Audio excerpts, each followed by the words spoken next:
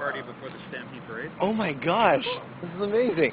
Everyone, this is uh, a bounty castle and a cow, and it's awesome. There's going to be uh, brand new things at this Calgary Stampede.